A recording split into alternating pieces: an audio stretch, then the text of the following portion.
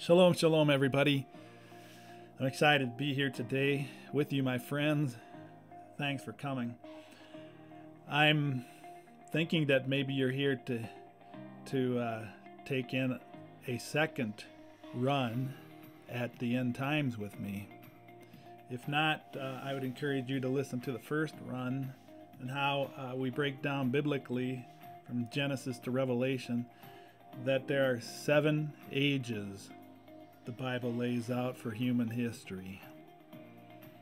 And that's the work of God for sure, because it's the Bible and it's where He speaks. And there's a very inner work in all of this, a spiritual work that lies beneath all that we see. But it's revealed. Revelation brings out the seventh age. We express that we are living in the sixth age. And uh, we'll talk about this structure a little more as we go. We'll get into the scriptures. The lead scripture today is out of Daniel 7 13 14. Before we get into all that, I'd like to say uh, some things about what's been happening this week lately that uh, is so interesting. So, I've been attending this meeting once a week at a coffee shop. Uh, there's a ministry going on there. It, the guitar leader, the ministry leader, uh, has become a friend of mine. I come with the fiddle. I'm a support system. I'm supporting what he says, what he's doing, the ministry. We're touching human hearts, hearts that need healing, hearts that need restoration. With the scriptures, with God's word, with the Spirit, with conversation. And out of this, now I've been invited tonight to a special service. Not just a, a Tuesday morning service, but tonight to a special Thursday night service at a local church in this town that I've been going to called New Day. Ah, pretty fortuitous. Because New New Day is, is basically what the seventh day is. I mean, you got six days of creation, and then the seventh day is so new, so different because God rests. And He doesn't speak, He's silent that day.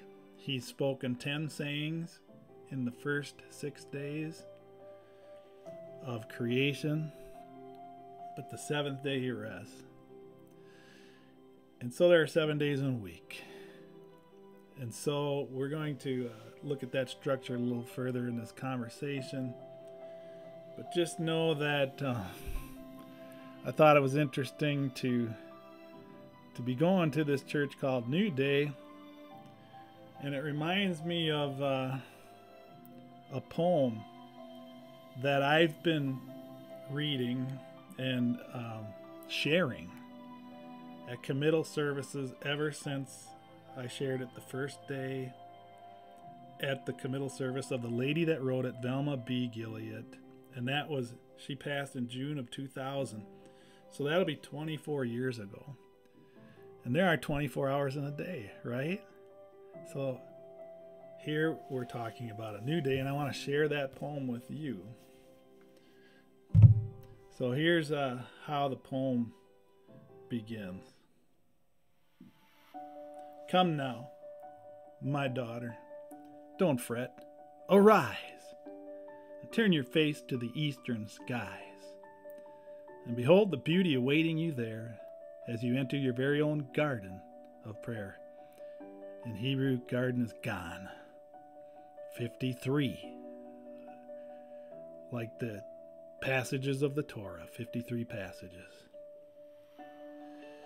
Watch closely as darkness gives way to dawn, for soon all traces of night will be gone. The clouds, now so gray, will all turn hue. Moment by moment, the scene becomes new. Now reds and golds are streaking the skies, while below the horizon the flaming sun lies. But oh, how quickly it comes into view and casts its bright morning smile on you. Rejoice! A new day is now given to you. Together, great things you and I can do. Just trust me to lead and to guide you right. In me is no darkness, for I am the light. I know all your needs, your joys, and your care, so I know how you need this fellowship rare. It's yours for the taking, I'm ready to give my peace and my calm, while in me you live. As with praise and thanksgiving you humbly bow, I know you can answer this question now. Could an hour's sleep have meant more to thee than sharing these precious moments with me? A thanks to that soul, Velma Guilliatt, for leaving that with me. Like I said, I, I've shared it at many more committal services as a pastor over the years and in other ways too, like this. I've shared it and may I continue to share it. But this new day, uh, Daniel saw a vision of a new day. A day where the uh, kingdoms of the earth give way to the kingdom of God. And he says uh, in verse 13 of Daniel 7 In my vision at night I looked, and there before me was one like a son of man, coming with the clouds of heaven. He approached the Ancient of Days and was led into his presence. He was given authority, glory, and sovereign power. All nations and peoples of every language worshipped him. His dominion is an everlasting dominion that will not pass away. And his kingdom is one that will never be destroyed. So Daniel saw the end of the kingdoms of the world, so to speak, and all their wickedness and all their untruth and saw one coming that cannot be destroyed because it's on the solid rock of truth. It's on the Evan, like stone. Father, Son makes up the Hebrew word Evan. It's on that solid rock, that solid stone. And I believe that stone also has this value of 53 in any case, uh, it's a kingdom that cannot be rocked. And as we look at this uh, vision in Daniel, the Lord Jesus fulfills that prophecy. He has fulfilled and he fulfills it. And, I, and I'm going to read the various aspects of the New Testament that show this. First of all, uh, where Daniel says, In this vision I saw before me one like a son of man. Well, in Revelation, it talks about in chapter 1, John, he says, I, John, your brother and companion in suffering and and kingdom and patient endurance that are ours in Jesus was on the island of Patmos because of the word of God and the testimony of Jesus.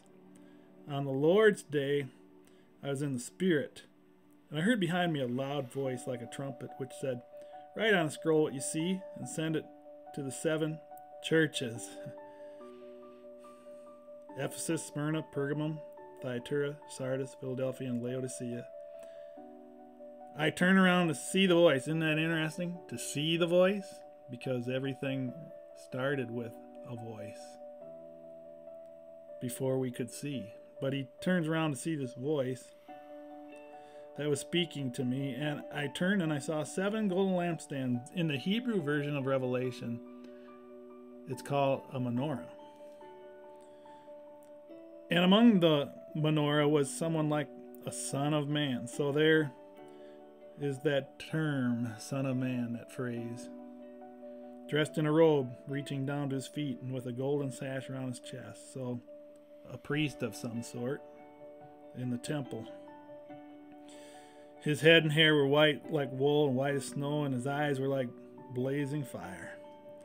His feet were like bronze glowing furnace, and his voice was like the sound of rushing waters. What's uh, key here is that that is in context as we look at the Lord Jesus. He's the Son of Man. And he refers to himself as that many times. But also now in Daniel here, it says that um, there's the Son of Man coming with the clouds of heaven. And is he coming up to the throne of heaven or is he coming back the second time? Is Jesus coming back to earth with the clouds or is he going up with the clouds? And I I think to make sense here, um, he's coming up to heaven with the clouds, like it says in Acts chapter 1. Um, after he had said this, this is Acts chapter 1, verse 9. After Jesus had said the things that he said, he was taken up before their very eyes, and a cloud hid him from their sight. They were looking intently up into the sky as he was going when suddenly two men, dressed in white, stood beside them. Men of Galilee, they said, Why do you stand here looking into the sky? This same Jesus who has been taken from you into heaven will come back in the same way you have seen him go into heaven which implies that he's going to also come down with clouds. And so John, in his vision, Revelation 1, verse 7, or verse uh, 7, yeah, he said, Look, he is coming with the clouds, and every eye will see him, even those who pierced him, and all the peoples of the earth will mourn because of him. So shall it be. Amen. I am the Alpha and the Omega, says the Lord God. Well, in Genesis 2, Lord God is, appears for the first time. It's just in Genesis 1, it's Elohim, God. But Lord God is Yad He Vav He Elohim.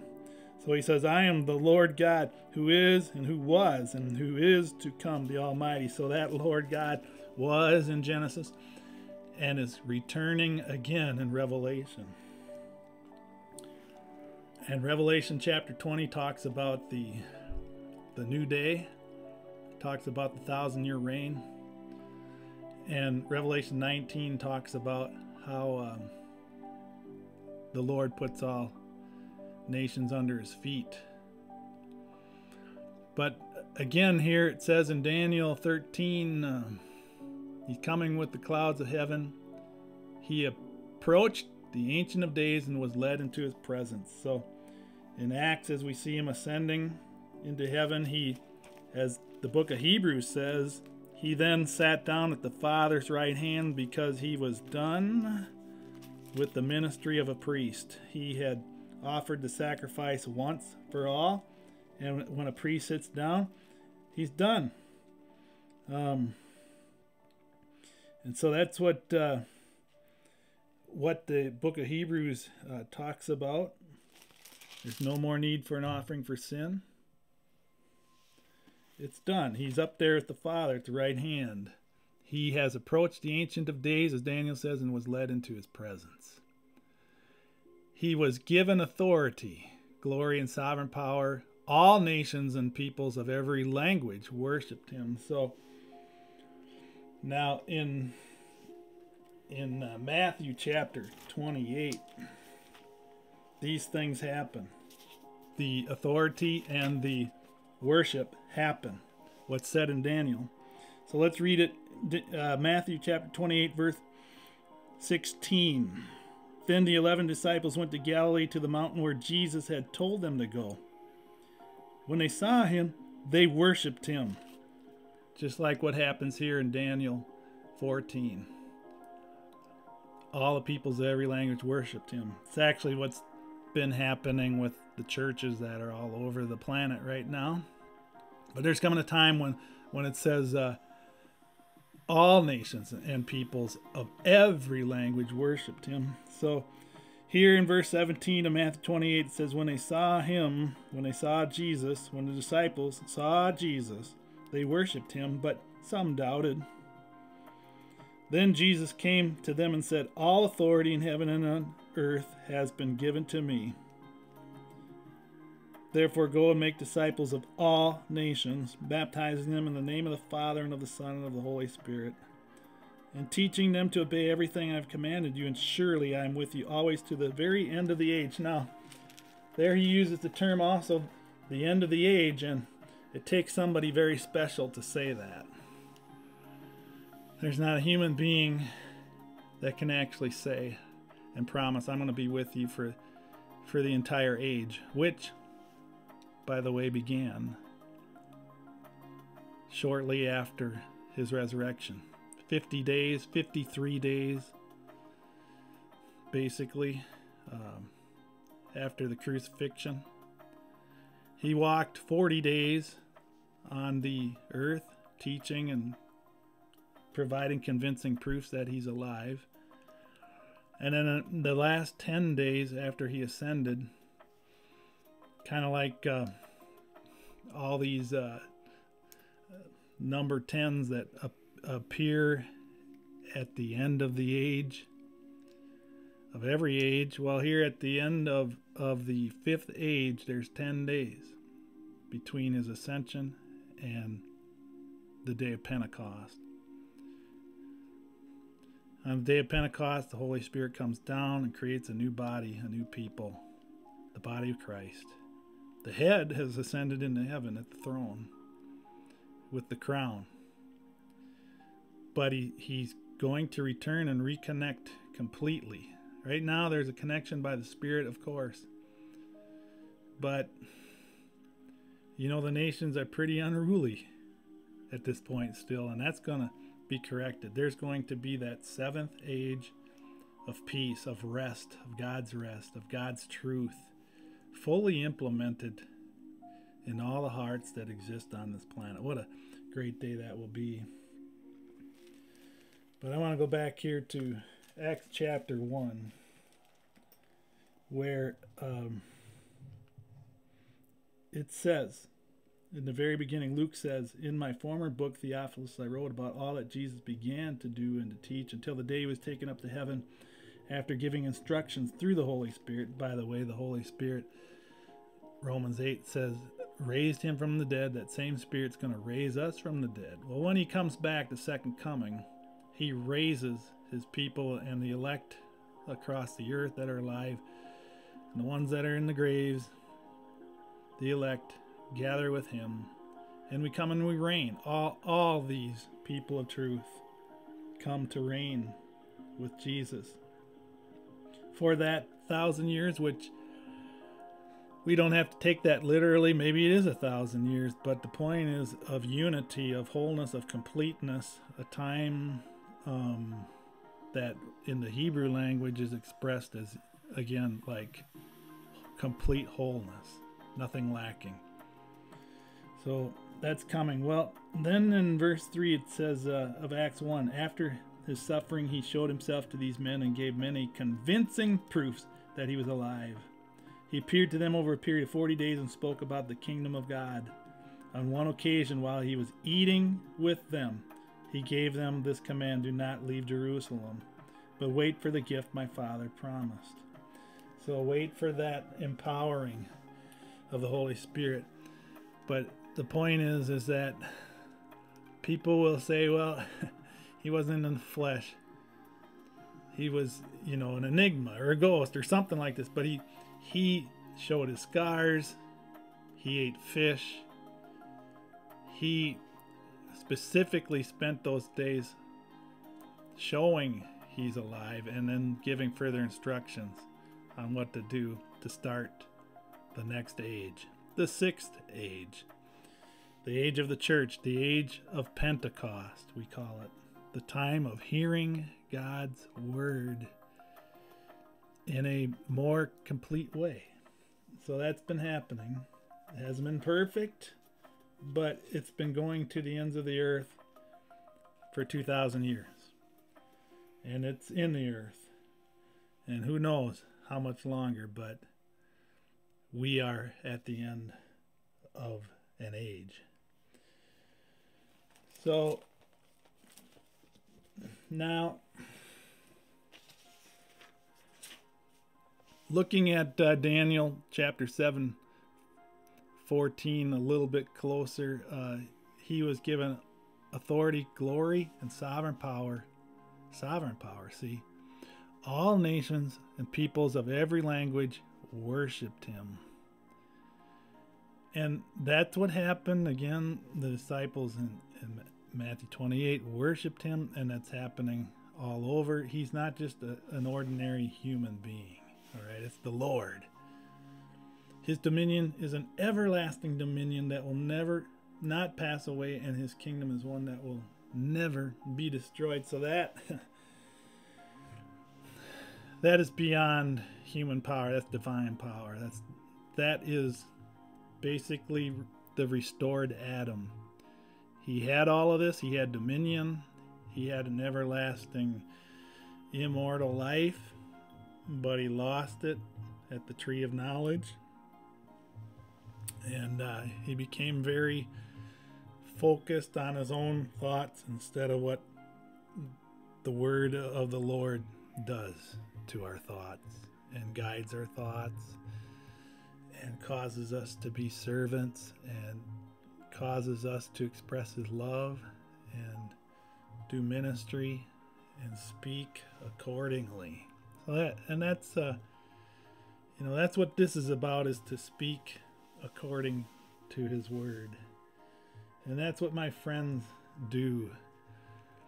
Like in Israel, when they teach Hebrew, they just get into the depths of what God's word is saying in the original language of the Bible, and it's so much more accurate and true than what gets translated over time. So there's a a bit of a thing I would like to share an article. And in this article, um, it comes from a long time ago. Uh, a pastor in Moscow wrote this article, and it's um, shared by this website called pravmir.com. And the title of the article is is from the Sea of Galilee to the Mount of Olives. And so here's what just taking a, a key part of the article, it says, in other words, after the resurrection, in other words, after the resurrection, he continues to possess a physical body, have flesh, and retain the ability to eat food. However, his body now differs from the one he had before the resurrection. It belongs to the physical world, but it is no longer bound by its laws and limitations. This body exists outside of time and space. Appearing to the disciples in Jerusalem, the Lord enters through the closed doors through the wall. The Savior makes himself unseen to the two disciples on the road to Emmaus. Finally, Jesus appears now in Judea, now in Galilee. Time and space no longer have significance for him. Thus, the body of the risen one is freed from the influence of the physical realities of this world. It is as if his body escapes the power of the laws of physical existence, representing not only a physical but a spiritual reality. This means that in the act of the resurrection, the barrier between the physical and the spiritual, the visible and the invisible, and the temporal and the eternal has been destroyed. and so uh, that that is an amazing writing about the importance and the reality of the resurrection, why Jesus could go around, walk through walls, uh, you know, be here, there at any moment, appear any place at any moment. He, it, it's the spiritual reality and the physical reality mixed. And that, my friends, is going to characterize the seventh age, that new day. And I would like to talk more about this and get even further and e- even deeper into these thoughts and these scriptures. But that um, is basically the main message. I, I will get into the first seven words of the first verse of the Bible, Genesis 1 1, and do that a little deeper. But that is like the seven ages. And um, the very middle of the seven Hebrew words in that first verse, in the beginning, God created the heavens and the earth. Very middle word is silent, sort of like the seventh day, the Lord is silent. The Lord God is silent. Okay, actually, um, with the seven days of creation, there are ten sayings in those six days. We we can look at that closer, and and how really it's the first seven days are or the first seven words are the inspiration for the menorah, which is the inspiration as well given to the seven days.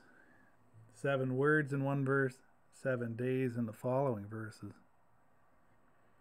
And so we'll look at all of that a little closer, but um, there's a there's a uh, a light of the spirit, a light of the spirit that uh, lights up each day, each age of of human history where God is at work, where the Lord walks with us, where He's a friend to us. And so I want to say thank you again, friends, for listening. I hope you will return. I hope that you will um, share some of this with your friends if you like it. Um, but in the meantime, shalom, shalom.